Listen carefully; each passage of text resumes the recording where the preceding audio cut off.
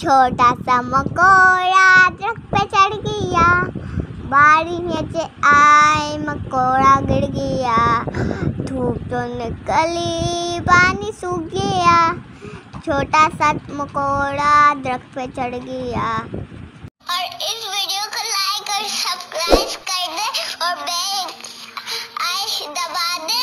और, और एक घंटी का बटन बताना।